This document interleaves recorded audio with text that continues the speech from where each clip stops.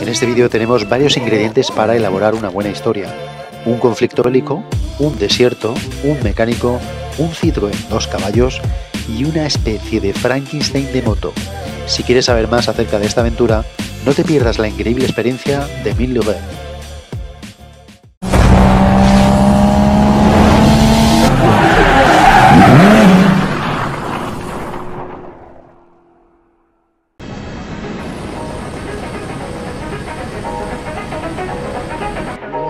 Es extraño que un forofo del motor no haya soñado alguna vez con disfrutar al volante en realizar un recorrido o travesía por el desierto, sin carreteras, sin normas de tráfico y sacándole el máximo partido a un coche perfectamente preparado para unas condiciones tan duras. Bueno, pues Emile Louvet, francés afincado en Marruecos de 43 años, se dispuso por aquellos años 90 a realizar una travesía parecida, en concreto por el Sáhara, pero a un nivel low cost. Emil era electricista de profesión, aunque allá por el año 1993 estaba trabajando como mecánico para varias empresas africanas. Desde un punto de vista actual, el sector automotriz podríamos decir que está bastante estandarizado o globalizado.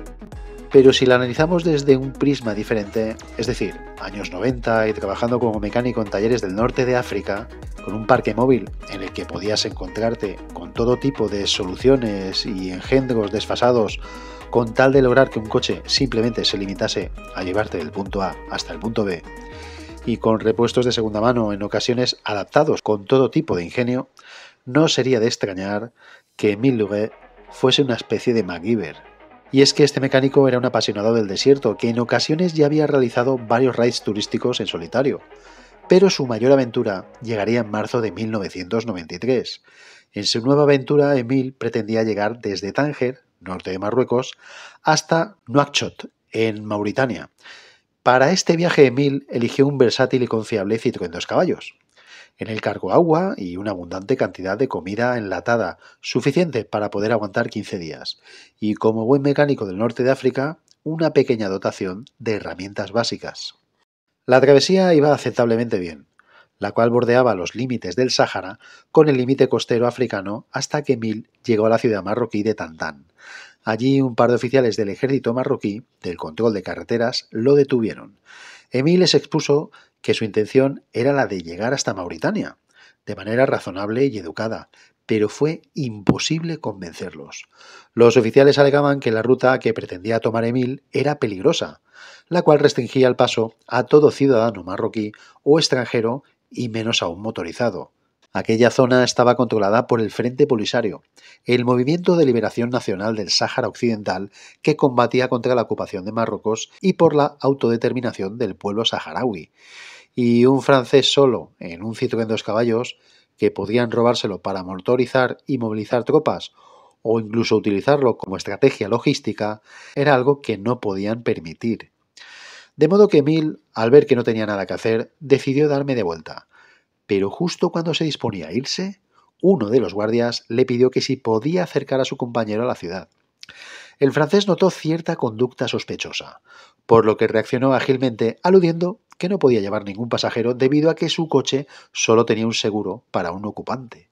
Y sin dar tiempo a que los guardias respondiesen, Emil dio marcha atrás, maniobró rápidamente sus dos caballos y se marchó por donde había venido. Los guardias no reaccionaron hostilmente, aunque Emil no estaba dispuesto a dar media vuelta, después de haber recorrido tanto.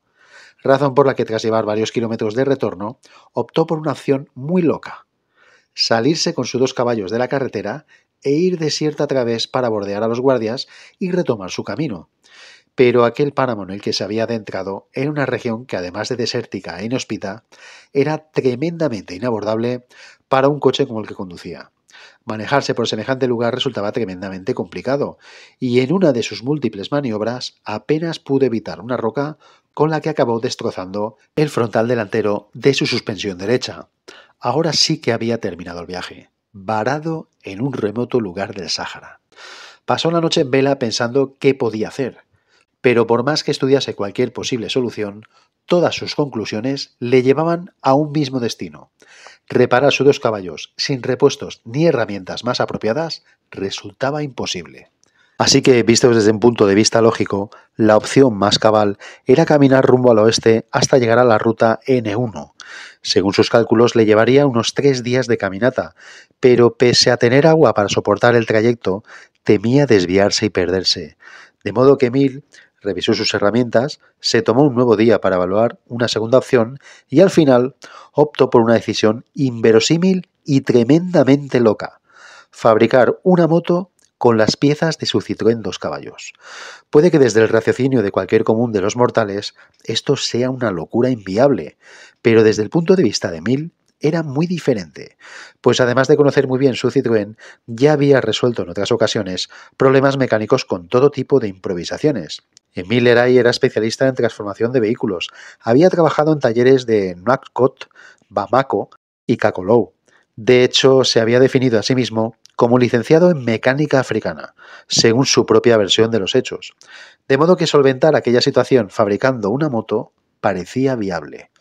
En un primer momento evaluó que la culminación de su proeza le llevaría tres días, algo asumible teniendo en cuenta que todavía tenía agua y comida suficiente para soportar más días. Pero en realidad, la construcción de semejante monstruo de moto le llevó un total de diez días más los dos que había empleado. Lo primero que hizo fue desarmar por completo el coche para evaluar qué piezas necesitaría recuperar y cuáles modificar. La carrocería sería su refugio mientras realizase la modificación, pues cuando el sol se encontrase en su punto más alto, el calor sería insoportable para hacer los trabajos de modificación, pues la temperatura alcanzaría los 40 grados, mientras que por otro lado las noches resultarían bastante gélidas, todo siempre y cuando sin que una tormenta de arena no lo arruinase todo, algo que por suerte no sucedió.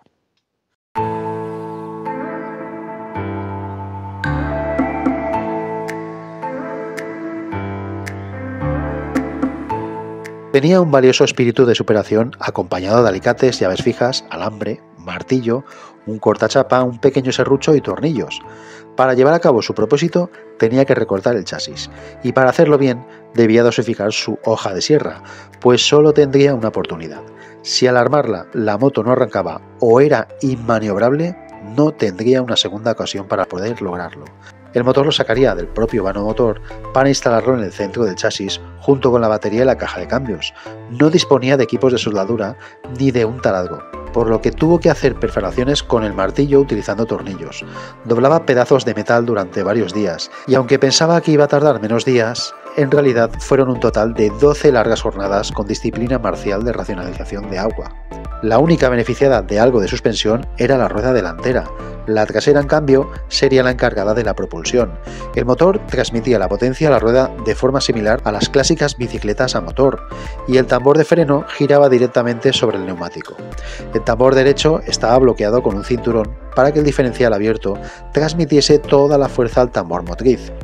Esta solución le permitía alcanzar una velocidad máxima de 20 km por hora suficiente para alcanzar la salvación.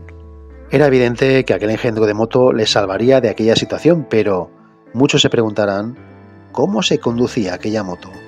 Pues lo cierto es que era una moto bastante suicida, pues para ser una moto con la que salvar la vida, lo cierto era que pilotar un aparato así no iba a ser precisamente fácil. Iba a escape libre, no tenía frenos y la maniobrabilidad era menos que discreta. Su estructura poco fiable requería de reparaciones provisionales a medida que se iba conduciendo. De hecho, Emil se cayó varias veces de su aparatosa moto y aunque dada la escasa velocidad a la que podía viajar, apenas sufrió lesiones. Sí que padeció pérdidas de combustible que podían haberle costado la salvación, pero pese a todo, Emil quiso que su moto, bautizada como el camello de acero, respetase la legislación vigente de aquellos años en cuanto a normas de circulación, gastando parte de sus últimos esfuerzos en instalar en la parte trasera de la moto la matrícula del Citroën dos caballos. El 28 de marzo de 1993, cuando ya se le estaba acabando el agua, una patrulla militar lo detuvo.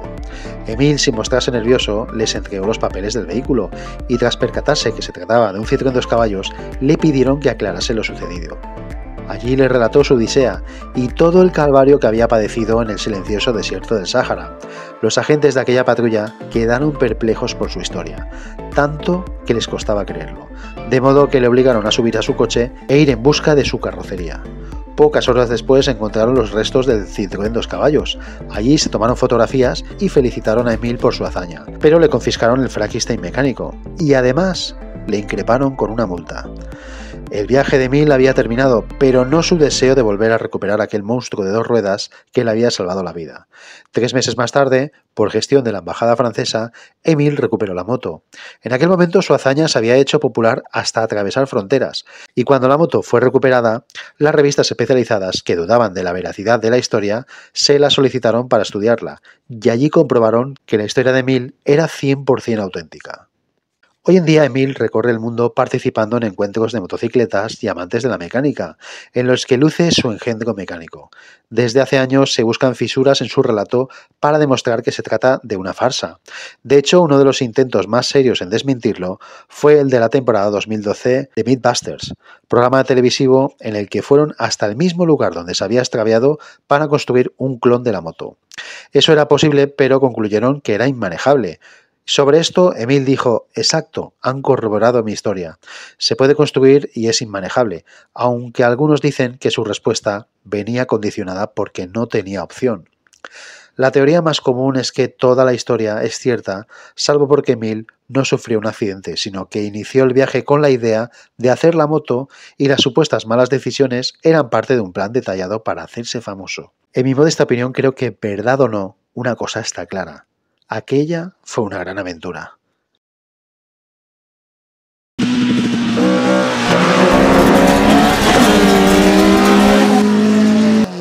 Si has llegado a este punto del vídeo, creo que deberías suscribirte cuanto antes.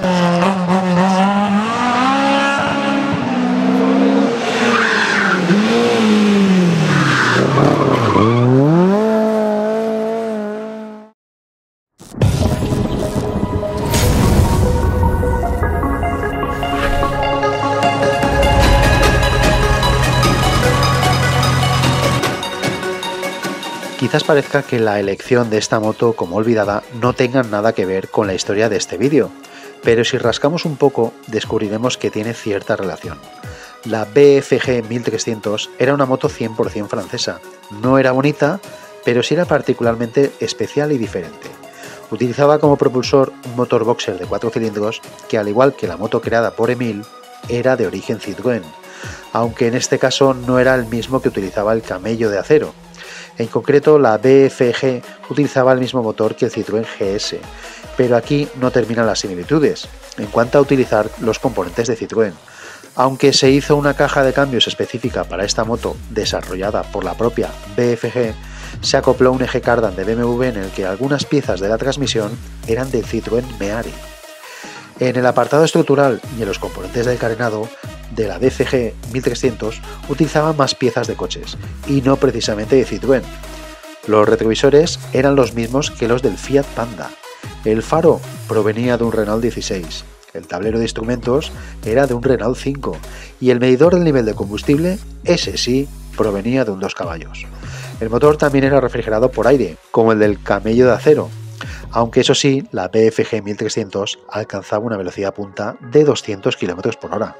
Aunque más que velocidad punta, lo destacable de esta moto era la fuerza que poseía en salida, pues al ralentí, a tan solo 600 vueltas, poseía 67,79 Nm de par. Aunque su estética parecía similar al de las BMW K100 K75, su producción, llena de altibajos financieros, acabó cesando en 1989, con un total de motos fabricadas en torno a las 600 unidades.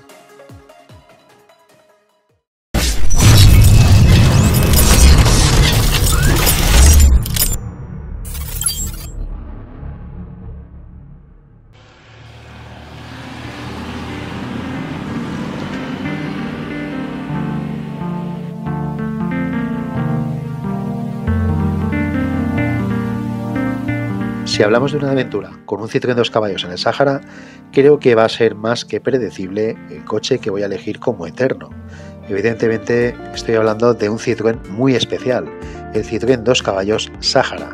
Seguramente de todos los Citroën dos caballos, este modelo sea el santo grial o el máximo exponente. Y no lo digo yo, lo dice su cotización como clásico. ¿Quién iba a decir que un vehículo de uso militar, del que tan solo se hicieron 700 unidades y que solo costaba por aquel entonces poco más de 10.000 francos, que al cambio actual y con la inflación vendría a costar unos 18.200 euros, en la actualidad como clásico supera con creces los 60.000 euros y subiendo como la espuma.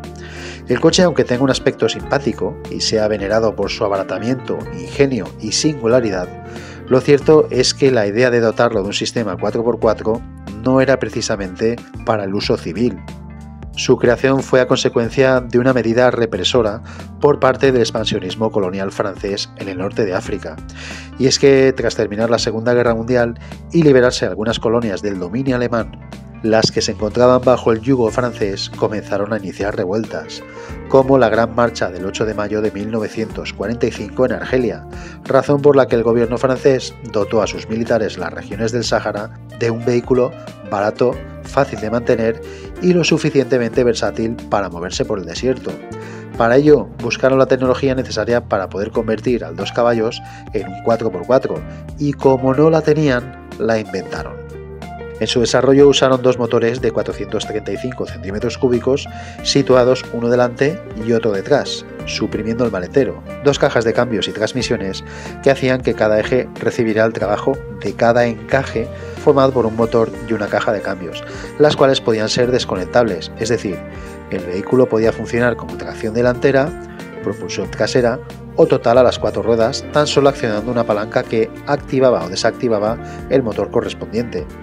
La fiabilidad del sincronismo de la caja con los dos motores en ocasiones era bastante inestable, pero al ser un sistema provisto de una mecánica simple, no era difícil de solucionar. Y es por ello que este vehículo hoy en día sea tan popular y tan valorado, especialmente por los coleccionistas.